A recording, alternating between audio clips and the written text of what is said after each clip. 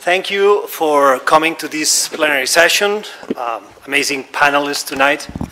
Um, thank you all for uh, willing to be here to share your thoughts about this topic that sometimes is not um, in the front pages of the newspapers, but as uh, I think it's uh, really relevant for the future of most of the countries, if not all. The panel is going to be a conversation, so I invite you to be in a vivid conversation, to engage in the conversation between you. I'll try to do my best. I mean, uh, moderating uh, those guys here at the stage. And I would like you to start uh, this uh, panel with a couple of minutes answering a simple question. Given the speed at which technologies are reshaping economies and societies today, how can leaders like you all embrace disruption and accelerate sustainable development outcomes? And I would invite Prime Minister of Bangladesh to start this a couple of minutes. Well, thank you very much. Thank you all, all the head of the government and uh, my panelists and other guests. Um, well, as you know that Bangladesh is a country, we have only 147,000 square kilometer land, 160 million people. Now, we have to feed them, we have to ensure them uh, their housing, healthcare, education, job opportunity. I mean, uh, what needs for a human being, we have to ensure that. And you can understand, it is a very difficult job. Not only that, the country our geographical situation is such a way that uh, it's very much vulnerable for climate change. And natural calamities, it is our day-to-day -day phenomena. With, under this situation, we have another burden that is 1.1 million Myanmar citizen Rohingya. They get refused to our country. And we give them shelter, we ensure them their food and uh, medication and other facilities, whatever we can afford, but international community, they are supporting us, definitely we appreciate that very much. Now, our country was liberated in 1971 under the leadership of Father of the nation Bangabandhu Sheikh Mujibur Rahman. When we liberated the country, in our country about, I can tell you that about 80% people or 90% people are under poverty level. Now we have an aim that we want to develop our country. Our economy is mainly based on agriculture.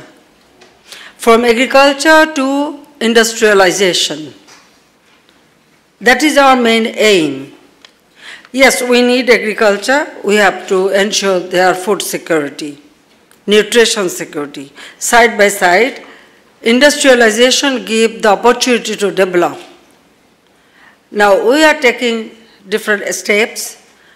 We open up our private sector, encouraging people to invest foreign and abroad investment Already we have industrialization side by side, agriculture production we have increased, we ensure uh, food security for our people and definitely now we are taking care of their healthcare, housing, creating job opportunity and also their nutrition.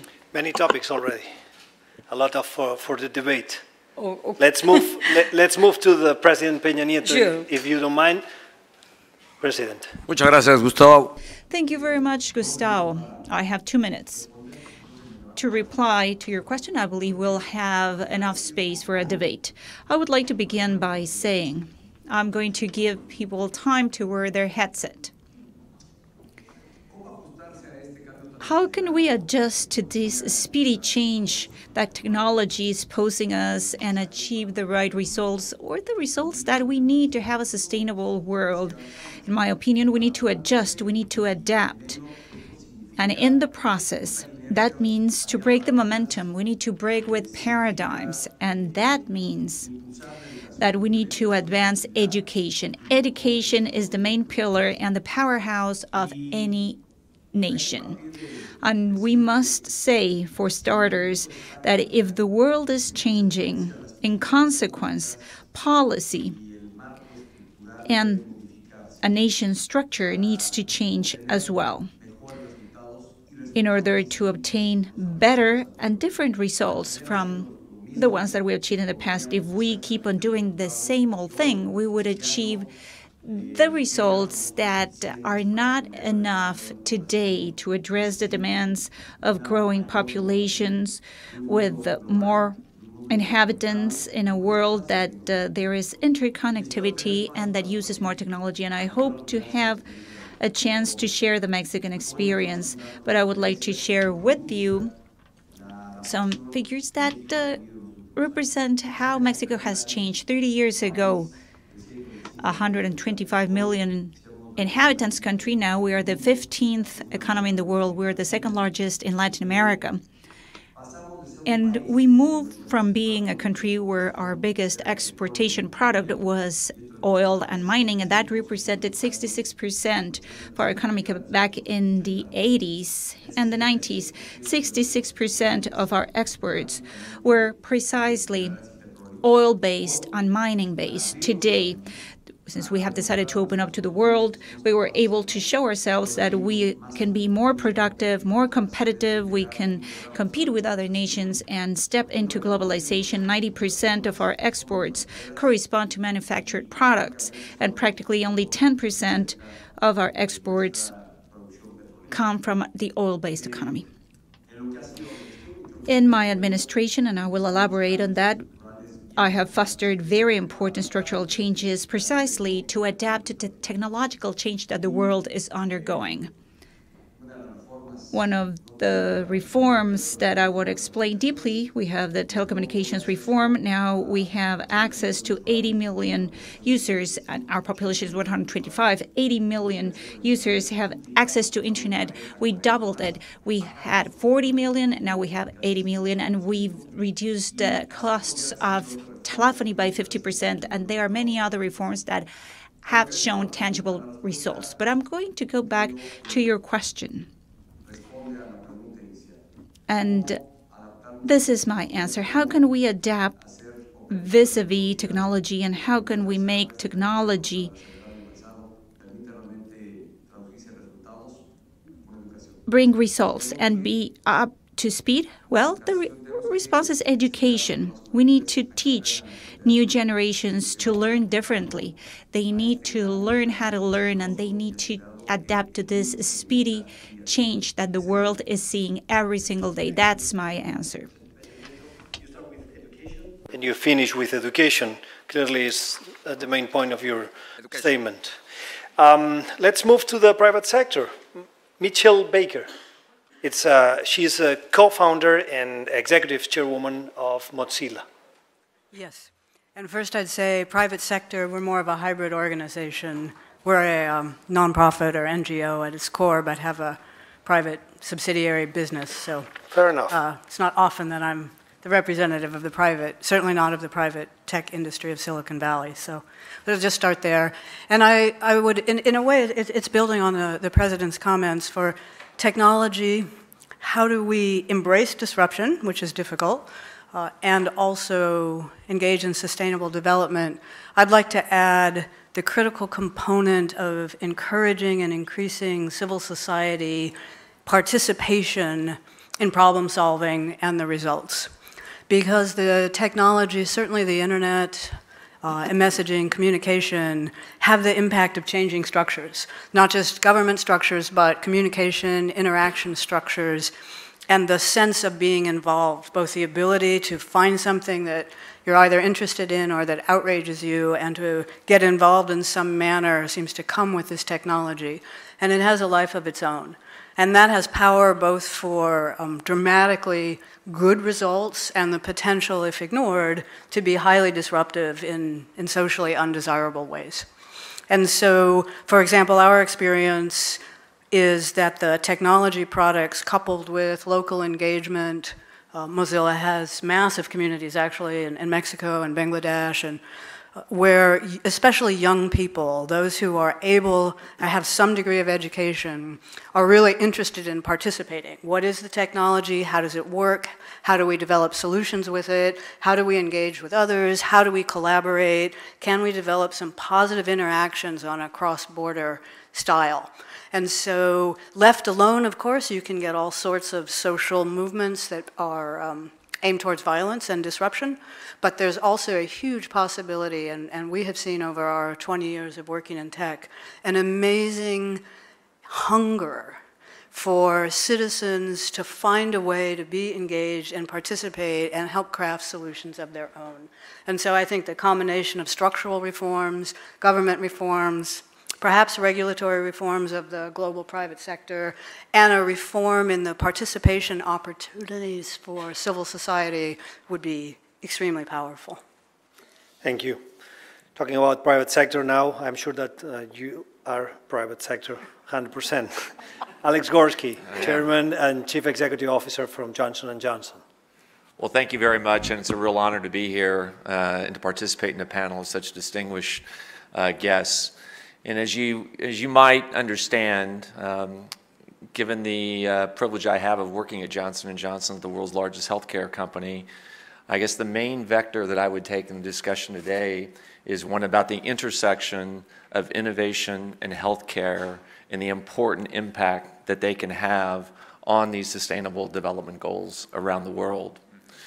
And I think it really starts with a strong belief that we have that um, Health is just a fundamental issue for families, for children, for mothers, for fathers, for cities, for communities, for countries, and frankly for all of us around the world. Because it, it, enables us first to enjoy a life, but of course beyond that it has to do with productivity, it has to do with stability of society, and so many other issues in, in how we engage and so understanding the importance that healthcare has in really touching so many of these issues uh, is critical. I think second, I think the good news is, is that we made a tremendous amount of progress over the last several decades. And if we think in our lifespans, the average, the, the average lifespan, even within that time, has increased by several decades. Improvements that we've had in things like cardiovascular disease, prenatal care, uh, even with something like HIV, I can remember in the early 80s when it was first uh, really discovered what the issue was, you could expect to live perhaps two years. Today, it could take several years off an average lifespan when treated with the right therapeutic regimen. Now, the challenge is we still have a lot of work to do. And as we think about it, there's several areas where innovation is going to be absolutely critical to our path forward. It will start with great science. There's still a lot of things we need to figure out. We need to do a better job with Alzheimer's. We need to do a better job uh, with infectious disease. We're making great strides in areas like HIV, like TB, like polio, but there's still a lot of important science that needs to be done to actually move from treatment to cures in these conditions. Second, We've got to be more innovative about taking a lot of the existing therapies we have and making sure that more people can get access. And sometimes that can be as, simplify, as simple as color coding pills so that people take the right regimens to ensure compliance. It can be taking an old medication and finding a way to extend its duration of activity, therefore increasing the potential for it to have a therapeutic effect. It can be taking simple surgery and making it more accessible to greater numbers of patients. And last but not least, I would say what's really important is how do we take some of this new technology and employ it in new and unique ways to healthcare? We're doing programs right now where we're trying to educate, provide mothers just prior to the birth of their child with a phone, and by giving simple messages on a recurring basis to these mothers, both pre, uh, preterm as well as following the birth of their child, it can have a dramatic effect on the long-term health of that child. So I'm, I'm confident through public-private partnerships, by working together, focusing on some of these things, it can have a real impact on these goals. That's the point, private partner, partnerships, private, public, public-private partnerships. Public-private partnerships. And we have uh, public representations here in the panel. We're going to finish this first round with Mark Rutte, the Prime Minister from the Netherlands. Is a developed country. I mean, here we have two developing countries. What's your point of view?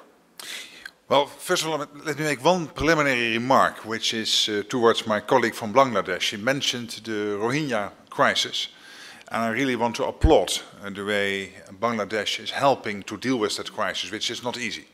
So I just want to make that preliminary remark and uh, really my respect for how Bangladesh is working on this.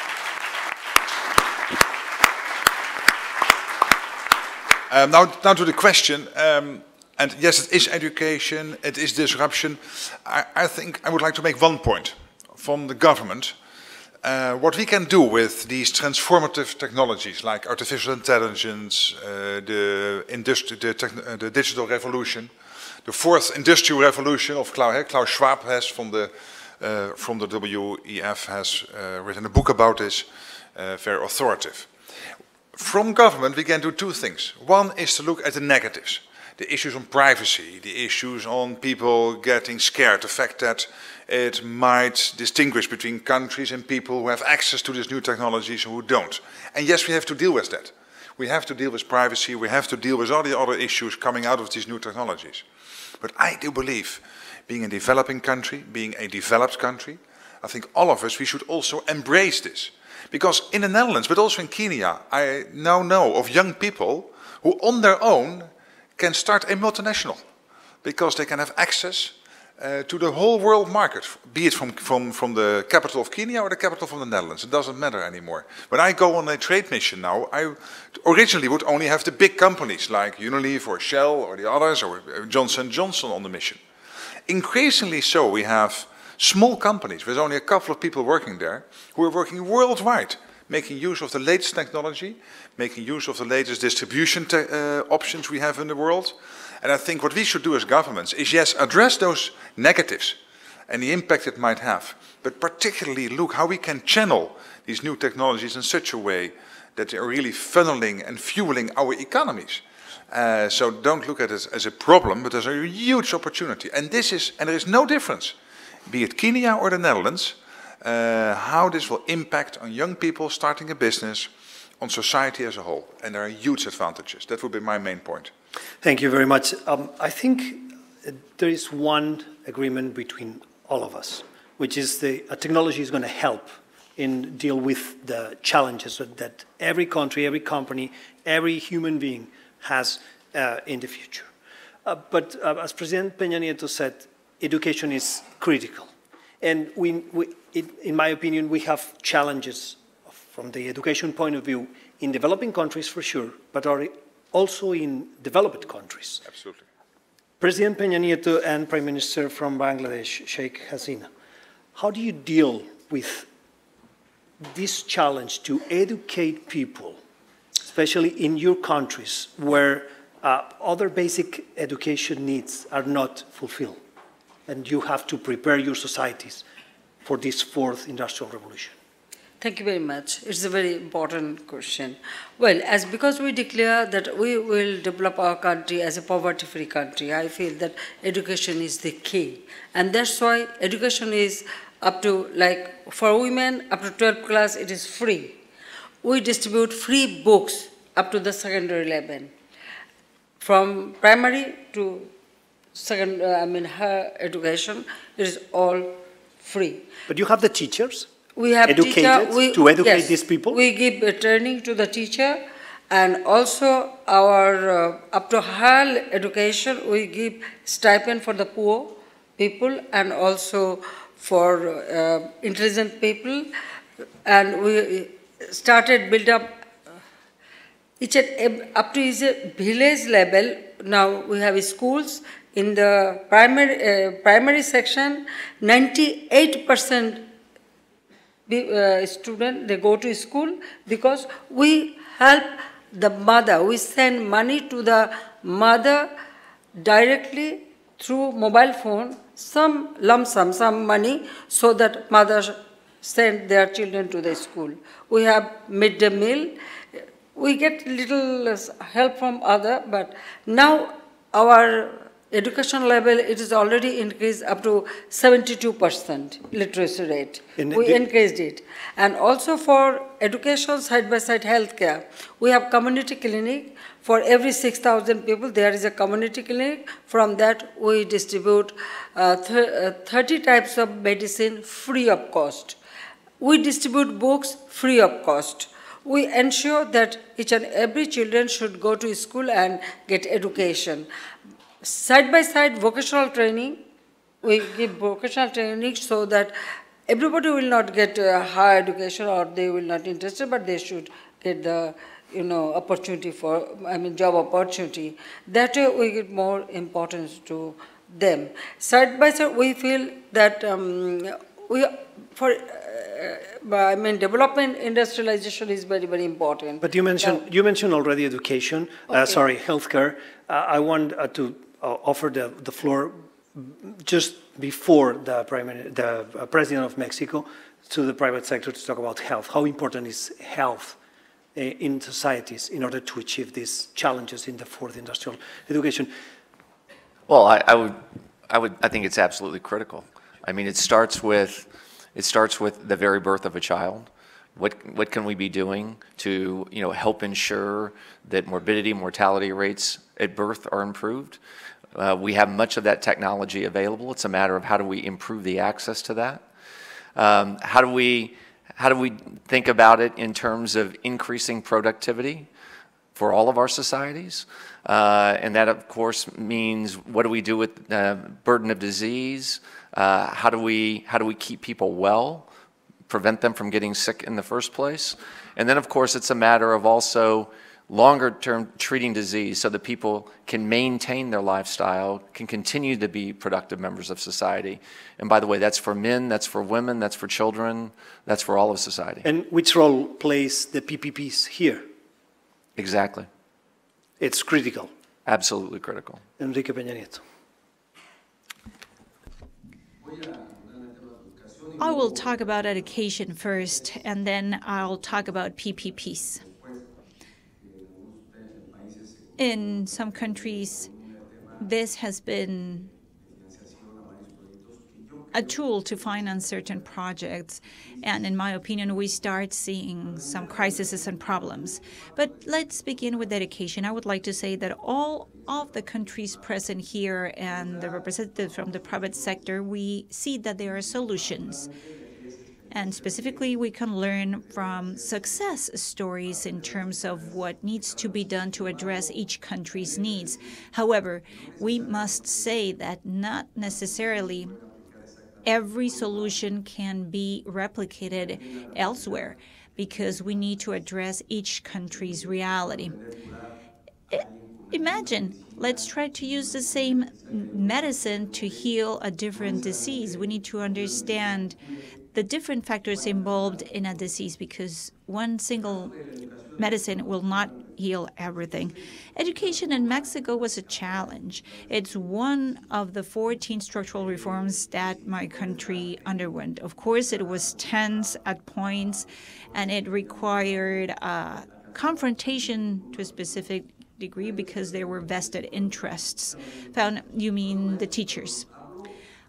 I, I'm describing the vested interests, not necessarily the privileges that teachers had. Some teachers had taken ownership of the largest union in Latin America, two million teachers, which are part of the teachers' trade union in Mexico. And some teachers, well, they have taken hostage the state due to their invested interests. So we decided to take ownership over education. Now, the state governs over education. In Mexico, we have education for free. We have 30, we have 36 million students. It's twice as double the population of the Netherlands, 36 million. So with this number of teachers, we had to create a method that would uh, place evaluation as the best way to screen the best teachers. We needed uh, to give teachers the possibility to improve their level of income by means of a system of merit by training, and we needed a better infrastructure and better learning content. So this was the basic purpose, and this is what we decided to do for Mexico. At the end of the day, I believe that each country has to tailor its decisions to its own reality. And by creating the reform and adjusting it to Mexico has been a challenge. It's not an easy task, but I want to share this with you in this discussion because it is easy to give away solutions, but the the thing is how to put them in practice, and you have to understand each country's reality, and it can take a toll politically. It took a political toll. Yes, yes, it was exhausting because it it is linked to other reforms as well. Mr. Rutte. It is, is exactly getting to the right point um, because two things are now being discussed. One is healthcare. Let me also mention distance healthcare. When you talk about developing countries, how can we bring the best healthcare to the uh, far out parts of that country? Uh, and with the latest technology from companies like Philips or Siemens or General Electric, we are able to do that. And again, this is to my point that as a government we should grasp the opportunities of these newest technologies and make them of use to our population so that not only in the developed countries you would have a doctor in every small city, every small town, also in developing countries where you might have fewer numbers in terms of doctors and hospitals, that you are able to get the best possible healthcare to the most distant parts of those countries. And this is what the newest technology is providing us. It's, it's really fantastic. On education, I completely agree with the Mexican uh, president. It is not just about skills, it is also about how to bring the education to the young people and how to create the right mindset of being able to deal with transformative change, which is taking place, uh, which is taking place at the moment. And for us, for example, it means that coding increasingly is now part of the educational system. It is not just uh, being able to count and being able to read, but also being able to uh, understand what coding means and being uh, um, um, being able to deal with that is also part of the educational system, increasingly so. Again, we have to deal with all the negatives of the newest technology, but these are all examples of how it can help us to really, uh, in a transformative way, uh, improve our societies. But um, President Peña Nieto, okay, go ahead. If I could maybe just add one comment that I think is a, a, bit of an intersection between education and science, certainly that we see from the many different STEM or technology fields that we're involved with, is just the fundamental premise around education of not only learning what, but understand, understanding how to learn. Yeah. And it can seem very, very basic, but you know, many of us in here, uh, and I'm making a big assumption, um, much of our education was based upon what we knew at a particular point in time. And when you think about how quickly science is advancing, the half life of an education today versus what it was only 10 or 20 years ago, what's much more important is the ability of young students to be able to learn and perhaps re educate themselves several times over throughout the course of a career. And we see that particularly to be true in the basic sciences. And, and so thinking about how we build our education systems, thinking about we, how we build our employee development and education systems with this idea of continuously learning, continuously developing yourself and your particular area of expertise throughout your career is going to be more critical than ever to ensure that people don't lose their relevance, don't lose their ability to contribute and really make a difference for a company or a country or society. And let me tell you, this is extremely difficult. Lifelong learning. Very We're brief. working on this Very for brief. years now. It is so difficult to implement that. But you're totally right. We have to do that. Sorry, I, I said brief because I, I want to hear from Michelle Baker that everyone is talking and you are quiet right in the middle. And I am sure that you have plenty of things to add to this conversation. Thanks. Uh, what I was going to say is there's the education and the learning, and then the question of what are the jobs and where do now you know students go? How is job creation handled? And what is the changes structurally to the nature of jobs and what kinds of investments. Um, so one of the things that we look at through innovation work and uh, you know the classic maker spaces, but but where is innovation happening? And so one other way I hope that governments grab onto the opportunity Yeah. because I'm a big believer there's huge opportunity still. Um, is where are there investments for local solutions? And is there investment in social enterprise? Or are there investments, the new, um, you know, uh, like emulating VC funds sometimes, or innovation funds, or challenges? And we find that there are many people trying to emulate Silicon Valley global platforms, but there's also a surprising number of people who are really interested in solving local problems and looking for government investment programs that are at least a corollary to the more glamorous piece of how do I actually get seed funding? How do I try to solve a problem for my neighborhood? And so I would hope that we can show the promise of this and then encourage these kinds of government programs as well so that more people are actually have some steps to take in addition to looking for jobs at the already prevalent companies. Well, just reacting again very briefly, uh, I, I get very enthusiastic about this. We have introduced in the Netherlands the system of the right to challenge. That means if the local government is providing solutions for the local community, the people can then tell their local councillors, hey, we have a better option, we have a better solution. Uh, this is the right to challenge. We are implementing that at the moment. It's very difficult again, like lifelong learning is not easy, but government is not easy. Uh, um, but, but that's why it is so fascinating. But it is, a, it is a great program, because exactly as you are saying, it's making use of the enthusiasm, of the energy of the people who know best what they want for the local community and making use of the latest insights in technology. Yeah, but you, you talk about um, education and um, if the uh, young generations are prepared and are receiving the right education to face the challenges of the future. And I was wondering if the, because Presidente Peña Nieto mentioned that he had to deal with a very strong teachers' union.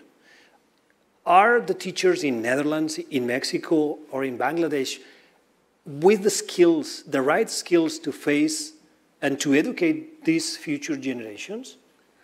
Well, obviously, th- th- still a lot has to be done there. But at the end, for us as politicians, we should be on the side of the teachers and not of the unions. Uh, we are there to make sure. Which is, for many people, it's the same. No, it's not the same. Uh, the unions, no, no, I mean, I'm not against unions, but they are a, a grouping which we should talk with and discuss with. But at the end, we don't work with teachers through the unions.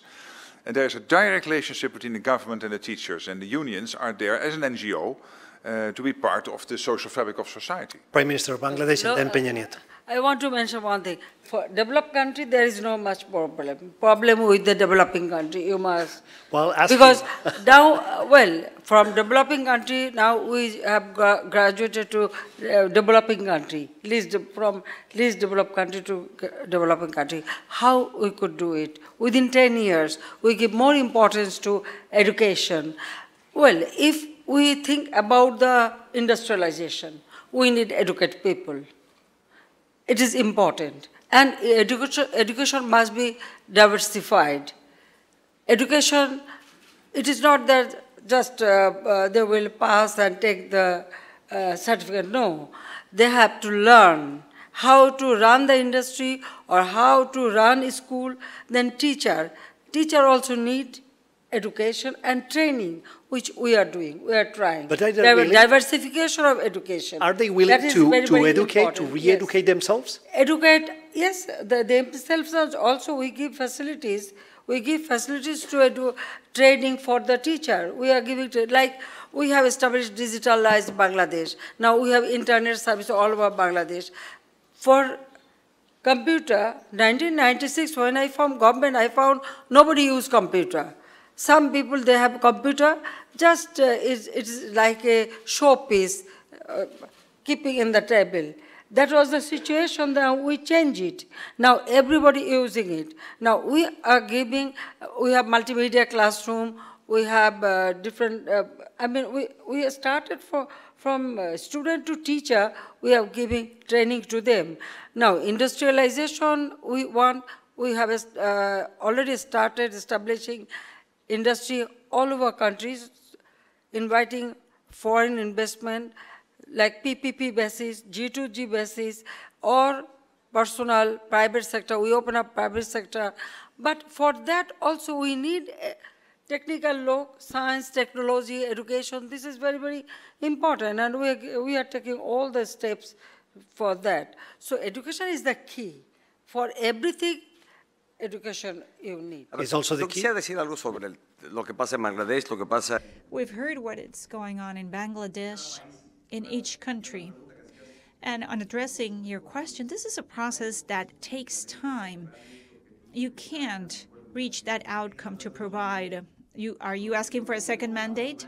Oh, no, no, no. Time for teachers. We need time to train teachers prob- properly so they can teach properly. And that's what students deserve. And what is the, the right content? As, as it has been said, we need to learn how to learn. And as Alec and the change is so fast that more than giving them formal learning contents, we need to teach them how to learn. They need to keep on learning throughout their lives, otherwise, they're going to be left behind. And the first question was how do we use technology to solve today's problems? I believe that there is a huge window of opportunity in the area of technology use, but there's a challenge that we have identified. First of all, we're living in a world that is growing in population. We're 8 billion people in this world. 50 years ago, 60 years ago, it was half the population we're seeing. I've always said this. It's like going on an elevator when you are one or two riding the elevator, when you click on one or two floors, but when you have 20 people in one elevator and you have 20 floors, so it becomes excruciating. So that's the challenge of governments. How can you keep up 20 people in one elevator clicking on different floors with calm, with patience? How can you keep them calm to get to the floor that they have pressed on the elevator? And that's how I describe the, the state of society. And uh, I believe that technology has demanded governments to present outcomes fast because that is what society demands. And as a consequence, we start seeing in the world, well, practically uh, uh, the non conventional approach. People sometimes are against the system because it might have taken years to build. We're starting to see a- opposition to d- democracies, political parties, and in this has happened so fast that uh, people are questioning if it is working or not. What ha- what is the best alternative? Y porque por qué- wh- do you think this is happening? estamos viendo, a ver, lo estamos viendo. We're seeing it. We are seeing it in Latin America, in different parts of the world. There is an anti system approach. The recent election in our country, for example, where we have a government already elect with great support from from voters, and the traditional parties got the worst voting results ever, and my my party's included. And this shows clearly, and this is the case of Mexico. It is clear that uh, the society uh, supported one political option, and I'm very glad that that was the way to go because that's the, the next president of Mexico's level of support. And it, we see the same thing in Europe, in Latin America. We see a break in the status quo. We see that the momentum is being broken. That was creating positive results, but uh, now the society is asking for fast results, and we have an anti system approach. population can you can convert population to your asset like in our country we believe that we have younger generation if we can give them proper education and uh, if we can give them opportunity they can be our asset because for agriculture, for education, for industrialization, for healthcare, everywhere you need trained people, educated people. So I believe that it is not a burden. Rather, through proper plan, program, you can achieve your goal, you can give them uh, training, you, they can be your asset. Now, within 10 years, we achieve our GDP 7.86%. Under these circumstances, we have so many problems, but even then, we are making progress. How? As because we are encouraging our people, giving them opportunity, giving them more uh, facilities. That's why we have achieved our GDP 7.86%, and also our poverty we reduced to 21%, from 40% to 21%. So that way our country is making progress. Now, we are, go, as I told you as before that now we are going for industrialization. But industry, it must be diversified, different type of industry, so that it can, it is not only that we will export, but our purchasing power is increasing, our own market is increasing. So that way we are working. So education is the key that I can tell you. Can I tell you something? Now I understand why you are a politician. Ms. Baker, I, I, I, have a question for you. Um, I know that you are a strong advocate for open internet and open source. Which role in the education challenge has the open internet for developing societies? Ah, and I want to place mark, I'd like to come back to the anti-society bias at the end, if I might. So open internet and open, uh, open source, let, let, me separate them out for a little bit and talk about open source, which I think is a pretty fundamental positive building block for many levels. First, as an educational tool, if you actually want to learn coding, but how it works in the world, especially in a large project, those are hard to do in schools and individual projects. So open source as a way of learning by doing and seeing what's actually real, as well as bringing trustworthiness into the system. Because clearly one of the issues with technology today is trustworthiness. Mm -hmm. And how do we build a system that's trustworthy enough that your point of view will be successful? That we still grab hold of it and try and fix the problems rather than be afraid. And so open source is the ability to actually verify that what someone tells you is happening is actually happening. And we, we can see across a range of technology products, but also other institutions, that, that once you learn that what people told you is happening is false, then all sorts of anti-society you know, problems come out. So I see open source as a huge educational tool for something that is a public good Open source is the only way for it to exist. That's why Mozilla is trying to build part of the internet as a public good and everything we do is open source. It's a public asset. And finally, it is a huge tool for building something that's trustworthy. But in your opening remarks, you call for participation and local engagement. How yes. do you uh, help to achieve or to reach people who live in rural areas in developing countries who uh, don't have access to internet, which is, in my opinion, one of the main tools in nowadays education. So Matt, might be your, your first question about open internet and how important is it, but access to the internet um, with a broad range of content is obviously the fundamental activity. And so one of the questions is very much like education. What we've been finding in our research and activity is that the solution to internet access in rural areas is very local solution right, and needs a community, whether it's community networks or community engagement. Um, often there's a regulatory problem related to spectrum and how it's managed, but very often getting out into the highlands of we'd say Bolivia versus getting into the rural villages in India, they are very different solutions. And so um, that, that fundamental piece needs a, uh, like the flexibility of government to enable many local solutions. Flexibility, that's my next point for the politicians. Uh, the regulation, do you want to add something to this? And yeah, when, when flexibility is involved, uh, you should ask me a question. No. um, um, okay, we're ready. I, I, I, would just would like, of course this debate is focusing on the positives and the negatives of this uh, technological revolution. That, that, that's, it's only logical. But let me try to combine the two. And because on the one hand we know through technological change, particularly women might lose jobs because many traditional jobs in many countries where many women are involved, uh, will be the first to be involved in this new technology, technological revolution. Take, for example, the healthcare sector. At the same time, we know that when we are all getting older, uh, that we need more people uh, to be taken care of. So the technology here will help us. For example, in the Netherlands, we have 130,000 vacancies over the next 10 years in the healthcare sector.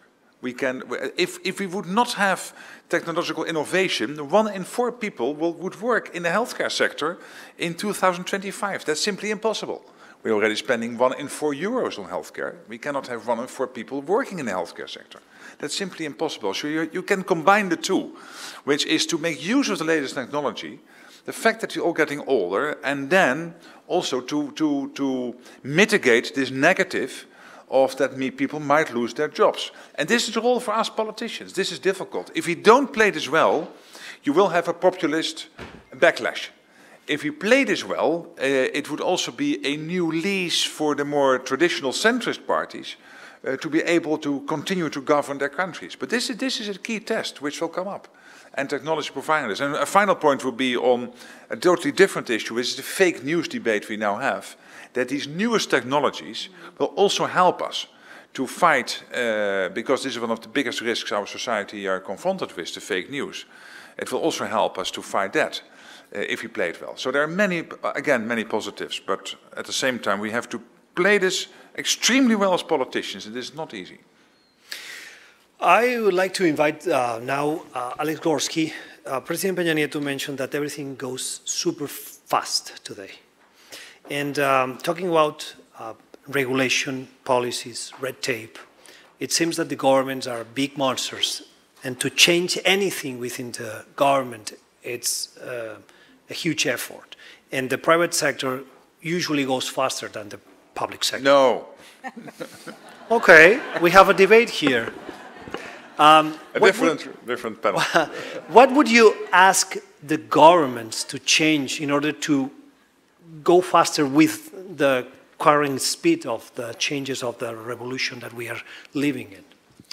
Look, I, I think that uh, the government has an important responsibility to always be balancing uh, the right level of regulation with obviously the impact that it's ultimately going to be having on society. In our world, it's then one, uh, for example, about the approval of new products and carefully balancing safety, quali quality, access with speed to patients. Uh, and uh, what we have found is that there too, it takes partnership, it takes education, uh, it takes transparency of information.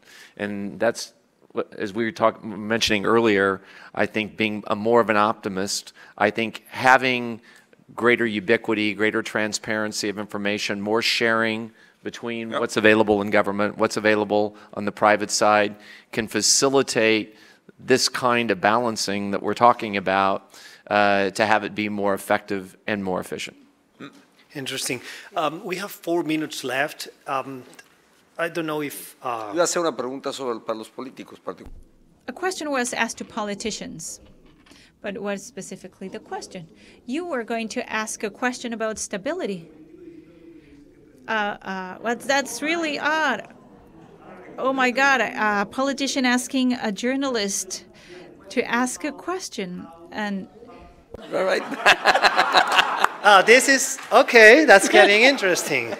All right. No, um, I want you to, to be focused now in the time that we have left in uh, the transformation of jobs the industrial revolution is transforming jobs. And for many people, that means that their traditional jobs are disappearing.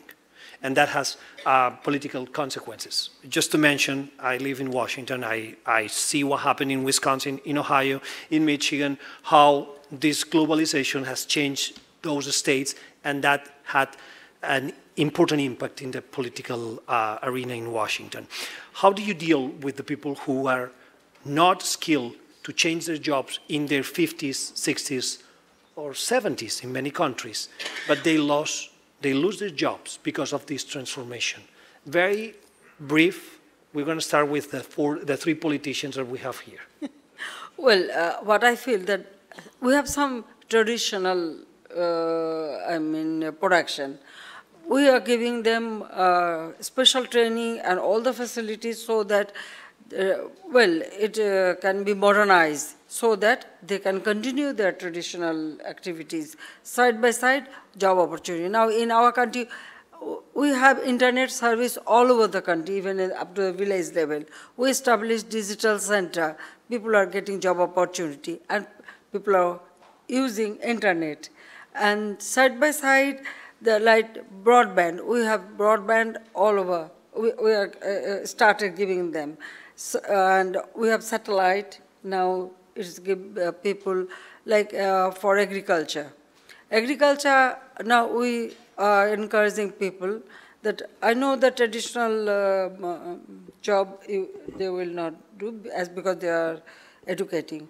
Now, mechanized agriculture that we have started teaching them and also engage them in the traditional job. It is not that we will just bring them out from their traditional one, but they will, I want to keep them there, but with the keeping them uh, mechanized ones so that they can continue. That way we are trying to do it. So, and also the mobile phone, uh, now we have mobile phone in each and every people they have. So the new technology and new thing they should learn. So how much you can teach them and uh, training them, then you can. Prime Minister. Okay. Yeah, I know. Time is Hijo, la, la, la tecnología Yes, technology has broad consequences, and technology will bring about solutions. I believe at the end of the day, it should not be seen as, an, as a problem, it should be seen as a breakthrough. That has happened very fast, but we're going to see many solutions deriving from technology. And from my opinion, I would say that being open is part of the solution. What might be a problem and we've seen different views already. If is it positive for different countries to join globalization? Well, that might give rise to the development of global value chains. Several regions, for example, the European Union, North America, and the generation of value chains and job creation in regions is linked to technology. If we close up, if we isolate ourselves, if we impose protectionist measures, well, it seemed to be that uh, that we have managed to do several decades ago. It's been seen today by some countries has been seen the formula to solve the problems that uh, globalization has brought along, but I believe that globalization will allow us to face the challenges of this time. We should not close our doors. Technology is bringing us issues to solve, but technology is going to be part of the solution. Now you ask for questions. Would you say that it is a failure that Canada decides not to add up to the, the to NAFTA? I believe that uh, the ground is set so we can take advantage of this platform to revamp the agreement that we already have. Mexico has reached an agreement with the United States already. Mexico expects that Canada reaches an agreement with the U.S. as well, and we hope to have a partnership of three partners for North America. I believe that for Mexico, the United States is the biggest partner. It represents 90% of the trade we do in North America, and for Canada, of course, trading with the United States is extremely important. It's even bigger than the trade that Canada has with Mexico. So some portion is already solved. We're very positive and we're optimistic that the the portion that is left we will give us three three partners. Your response has been very sensitive. En pocas palabras, fracaso no. In a nutshell, no failure answer to your question is twofold. First of all, you need to put in place deep-rooted reforms because from that you will get growth. The Netherlands is now growing twice the pace of France and the United Kingdom and 1% uh, above uh, Germany because I think we put in place the necessary structural reforms and now they are delivering. And from this growth you will get new jobs. It is the engine to job creation. At the same time you need modern labor laws, a modern labor market, in which particularly the 40s and, and over 50s and 60s are able to um, uh, be as flexible as possible within that labor market whilst maintaining a maximum of security at the same time, which is necessary for them to be willing to uh, adapt to these new circumstances. I think if you have those two in place, you can deal with these uh, disruptions, and you have to as a society, because otherwise all these vacancies will not be filled. And if they are not filled and they are not taken care of by the newest technology, then you might have a big issue within the healthcare sector and within your educational system. Um, we run out of time, but I think it's fair, and nobody in the uh, World Economic Forum is going to tell me uh, not, to give the floor 30 seconds for uh, uh, the two last panelists to close the, the panel. So let's, no, no, no, no, um, from the private sector. so Mr. Gorsky, the floor is yours. Uh, well, as you could probably uh, tell from the comments earlier, I think that there's more reason to be optimistic about the opportunity that innovation and technology presents in helping us deal with many of these issues. Uh, however, with a strong caveat that it's going to need to be done in a balanced way, with the right sense of security for workers, with the right balance of regulation uh, by governments. Uh, but I'm convinced many of the examples that you heard up here today, when we create the right kind of partnerships that have got the right kind of trust and accountability, that we can make tremendous strides forward. Ms. Mitchell. But we haven't uh, Well, heard no. anything from the journalist. Uh, what? Excuse me. Say it again? Hey, Maybe I'll finish up and and we could go on. Okay, later. Okay. Um, uh, We're not done with disruption. Right, we're seeing the early phases of disruption of democracy. I too believe technology can be a part of the solution. So we have more disruption coming. I'm not sure that any one of us will embrace all of it, or how much of it uh, we, you know, will will each wish we could avoid. So moving into, I think, more and faster disruption, one of the key aspects for grabbing hold of technology has got to be trust and trust in institutions.